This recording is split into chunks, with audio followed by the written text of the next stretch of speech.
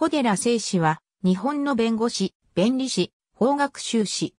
札幌弁護士会会長や、北海道弁護士会連合会理事長、日本弁護士連合会副会長、北海道大学客員教授、北海道第三者検証委員会委員長、法務省人権擁護委員等を歴任した。1969年北海道帯広三条高等学校、卒業。1975年北海道大学法学部、卒業。1977年旧司法試験合格。1978年最高裁判所、司法研修所司法修習生。1980年弁護士登録、橋本昭夫法律事務所入所。小寺聖司法律事務所設立。1985年弁理士登録。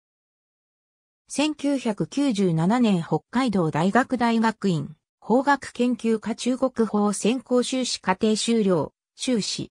1997年私立、札幌病院倫理院。1999年北海道、大学先端科学技術共同研究センター、客員教授、法務省人権擁護委員。2004年北海道大学大学院法学研究科講師。2005年札幌弁護士会会長。2006年北海道弁護士会連合会理事長。公立大学法人札幌市立大学幹事。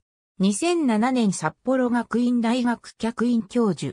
2008年日本弁護士連合会副会長。